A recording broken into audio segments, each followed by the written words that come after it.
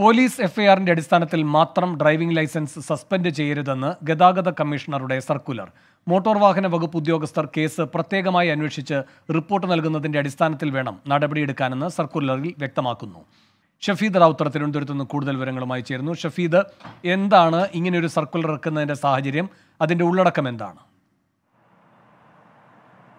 Madam നമുക്കറിയാവുന്ന പോലെ തന്നെ നേരത്തെ സാധാരണഗതിയിൽ ഇതുവരെയുള്ള നിയമം അനുസരിച്ച് ഏതെങ്കിലും തരത്തിൽ മോട്ടോർ വാഹന വകുപ്പുമായി ബന്ധപ്പെട്ട നിയമവിരുദ്ധ പ്രവർത്തനങ്ങൾ അതല്ലെങ്കിൽ ക്രൈമുകളിൽ പെടുന്ന ആളുകളുടെ ലൈസൻസ് സസ്പെൻഡ് ചെയ്യുന്നതായിരുന്നു നിലവിലെ രീതി. എന്നാൽ ആ രീതിയിൽ മാറ്റമുണ്ടാക്കിയിട്ടാണ് ഇപ്പോൾ പുതിയ ഭേദഗതി വരുത്തി ഗതാഗത കമ്മീഷണർ സർക്കുലർ ഇറക്കിയിട്ടുള്ളത്. പോലീസ് എഫ്ഐആറിന്റെ അടിസ്ഥാനത്തിൽ മാത്രം ലൈസൻസ് സസ്പെൻഡ് ചെയ്യേണ്ടതില്ല എന്നുള്ളൊരു തീരുമാനത്തിലേക്ക് ഇപ്പോൾ ഒരു ഒരു ഭേദഗതി വന്നിരിക്കുന്നു. മോട്ടോർ വാഹന വകുപ്പ് ഉദ്യോഗസ്ഥർ കേസ് പ്രത്യേകമായി അന്വേഷിക്കണം.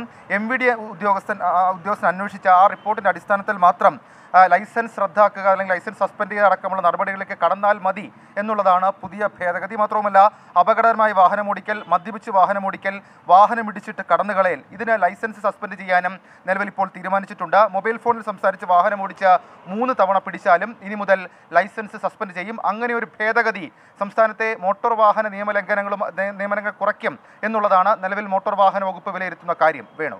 ശരി ഷഫീദ് റാവുത്തറാണ്. തിരുവനന്തപുരത്ത് നിന്ന് വിവരങ്ങളുമായി ചേർന്നത്